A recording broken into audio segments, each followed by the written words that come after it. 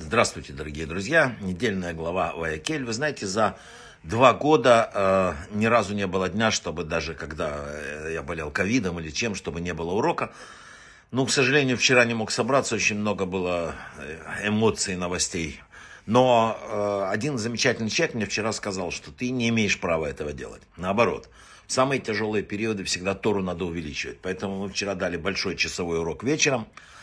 А сейчас возвращаемся к нашим урокам, которые еще и помогут, я думаю, в духовном плане. Итак, глава Ваякель. Написаны очень интересные слова. «Люби ближнего, как само себя». Это одна из главных заповедей. Сложная и непонятная. Из них вытекает другое. Ненавидеть запрещено. Если ты хочешь... Вот все люди идут к какой-то молитве и просят что-то. Но каков секрет этой молитвы? Написали э, наши мудрецы, что исполнение заповеди любви к ближнему – это входные врата, через которые человек может молиться и получить ответ. Благодаря этому, именно вот этому вот, молитва будет принята. То есть, любить ближнего это не только правильно, это еще и нужно для самого тебя. Кроме того, добро должно быть бескорыстным. Тот, кто руководствуется принципом «ты мне, я тебе», как правило, становится жертвой несбывшихся ожиданий.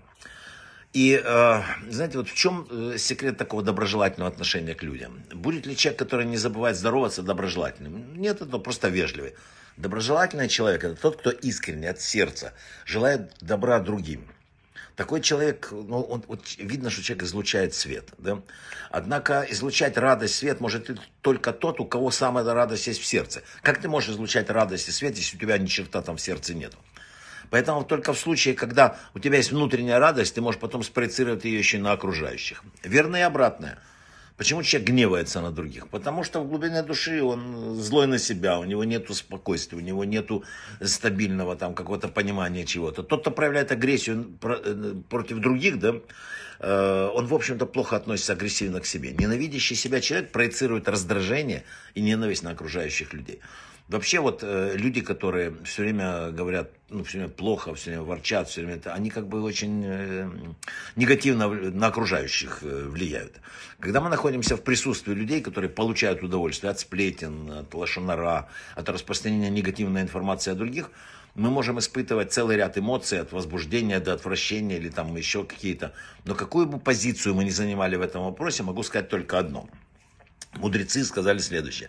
Если этот человек плохо говорит о других, то он обязательно будет говорить с другими о вас точно так же. Сказано в теории «не стой на крови ближнего своего». Одно из пониманий – не давай ему плохих советов. Не будь безразличным к его судьбе, помоги во всем, что можешь, если видишь, что его жизнь, здоровье или чему-то, э, благосостоянию что-то угрожает. Вы знаете, человек не должен э, строить козни другим. Это всегда плохо кончится. Я расскажу короткую историю. Есть такая восточная сказка, притча такая – о важных вещах, э, что на протяжении одной жизни злое сердце всегда будет наказано. Доброе найдет награду за добрые дела. Вот рассказывал э, Раби Хатаб, да, о царе, вознесенном высоко, был великий царь, он решил построить огромный дворец, который стал верхом совершенства. Спросил, кто лучший строитель, ему порекомендовали известного подрядчика еврея, чья работа была безупречная, он построил как говорились, дворец в соответствии с желанием царя. Царь осмотрел, говорит, какую ты награду хочешь? Пытающий говорит, я хочу, чтобы люди царства были освобождены на год от всех налогов. Царь согласился и это сделал. Затем ему надо было столар, э, столяр, столярные работы во всем Ему порекомендовали одного очень такого известного столера, который пришел, он сделал хорошую работу, но он ненавидел евреев, этот человек. И он говорит, я хочу, чтобы ты еврея-строителя за выполненную работу бросил в море. И царь обещал, бросили в море столера, связали и строителя. На корабле вывезли в море, но пожалел его моряк, э, отвез к себе домой и спрятал. Сидит строитель без дела, Э, молится, чтобы изменить судьбу. Вот, э, ну, однажды моряк поймал рыбу, разрезал рыбу, а там в рыбе царский перстень. А, а человек молится, еврей молится. Да.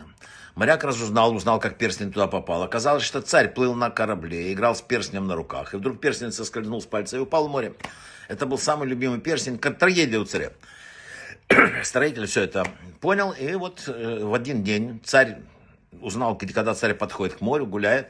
Выходит вдруг из моря, идет человек, этот строитель как бы из моря весь выходит. видит, он, ты кто, там, узнал подрядчика, говорит, ты откуда? Тот говорит, великий царь, ты помнишь, ты бросил меня в море? Говорит, да. Приплыла огромная рыба и принесла меня к царю царей главному морскому царю. Я ему построил мост, извините, замок замечательный. Он очень обрадовался.